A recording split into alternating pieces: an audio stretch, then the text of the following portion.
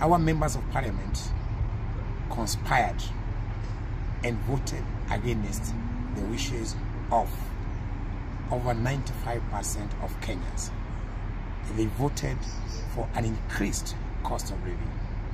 That is demonic. That is a crisis. Actually, it is worse than corona.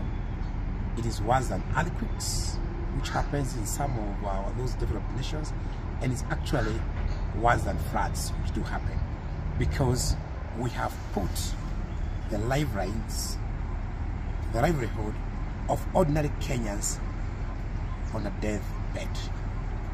As Azimio Party,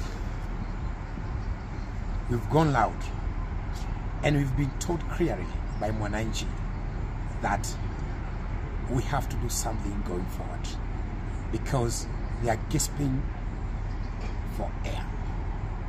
They are gasping for food. They are in ICU. And I want to thank uh, uh, our leader, Raila Odinga, because of calling the government out and calling for a national assembly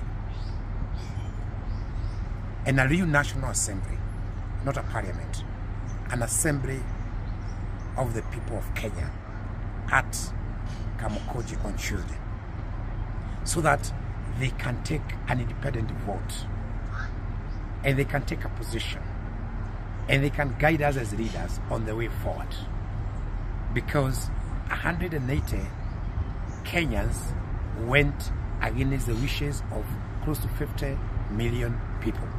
I want to call upon our people because they are living all over our diverse settlement areas in Nairobi, in Dandora, in Shaurimoyo, in Gikomba, in Githurai.